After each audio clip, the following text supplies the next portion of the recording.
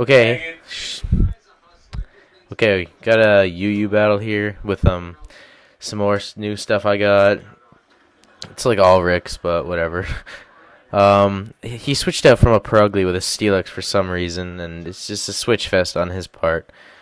So he predicted Fire Blast, and I hit him with an Air Slash, and he probably thinks he can stay another one, and I guess kill me with Surf, even though it's kind of a waste of a Blastoise. But I have Hidden Power Grass, so that's dead, and that's just good to know. Two hit KOs Blastoise, that's that's a win right there.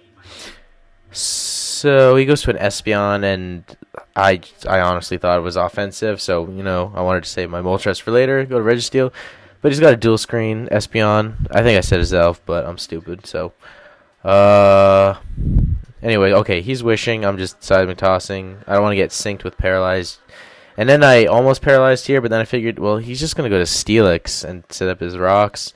So I'll predict that and go to Moltres. But that's not what happens.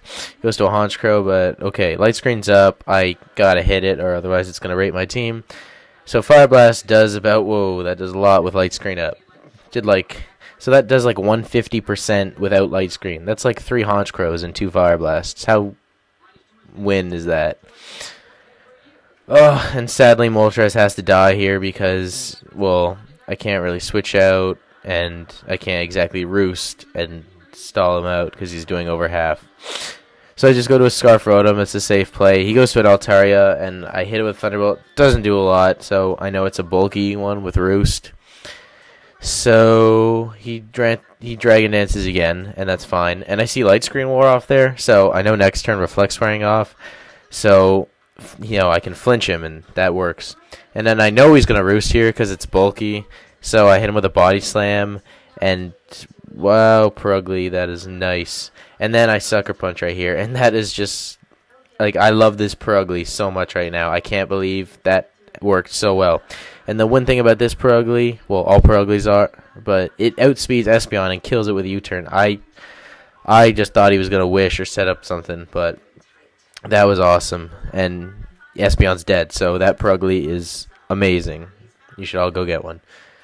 And here, here's the stupid thing I do because I, I totally had this one. I just I assumed I saw all his walls, so I tricked the Steelix, figuring okay, whatever. What I should have just done is fucking hidden power fighting, but I'm stupid. And um, God, I thunderbolt because I know he's gonna switch. So haha, thunderbolting a Steelix, that's a win. And he goes to this thing, and I'm like, oh god, if it starts cursing, that's gonna be bad news. So I go to Nidoking now because I want to hit it with a Mega Horn and hopefully actually hit it. So I do that, and he hits me with a. Oh fuck! He rests. Oh god, he was rest talk. This is this. It's a good idea in UU especially, but it's just it pissed me off because I'm up five two right now, but I'm gonna fucking lose after kicking his ass the whole goddamn battle. He gets a stupid ass set. Pisses me off. Anyways, no, I totally sound like Becker right now. so, um, oh, I Mega Horn here, and oh, that sucks because one more hit and I'm dead. So, uh, I want to save it for later, but I totally forgot I have Stealth Rock. But I wanted to spin those away now or at some point. I don't know. He's just he's locked in on Roar, and then I I know at this point I'm fucked because I so needed to trick that fucking Umbreon, but I'm stupid, and I tricked the Steelix when I, I knew I could have killed it, but I just thought like, well, who the hell has like five fucking walls? So um, he's just spamming roar. So I just I body slam. What the hell? I get Parahax, which is pretty cool. And then I figure, well, he's just spamming roar. Maybe I could trick the scarf back, and then I could rectify my mistake. But no, and this is another thing that's stupid. If I did know he was going to switch and just hidden power fighting, uh, even here I could have three hit KO'd him with hidden power fighting because Thunderbolt's not going to fucking two hit KO him, which is gay. So I was like, oh, just give me a crit because I know you're not dying. And uh, okay, hidden power fighting is actually not as powerful as Thunderbolt here. So yeah, it's like 2.5, but it's still a difference. Uh, and then basically from here I'm just speeding the video and slowing it down at various points to show you where I was trying to be a cheap asshole to try and get the win that I so badly honestly and I deserved it but uh, that pisses me off So that was like a like a two minute clip in like four seconds. It was speeded up like sped up like four thousand times, which is pretty cool. And um, Blastoise is in now. It is rapid spinning to save the Nidoking from coming back earlier, and nothing is gonna do anything really. I have to just stay in with whatever I can and just try and crit him. Even if I had Moltres, I could have tried to hit him as best as I could with Fire Blast before he got all attack boosty with payback and stuff.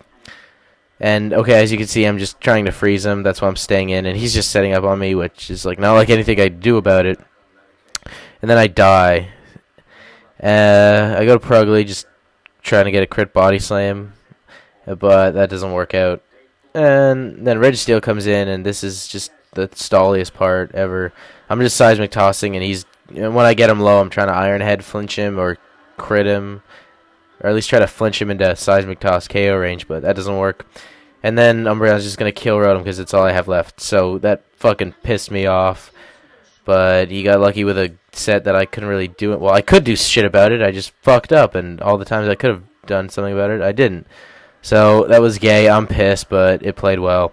Oh yeah, I even go for a Stone Edge but I don't get it. That's like four fucking games without a fucking bit of hacks on my side. Fuck you.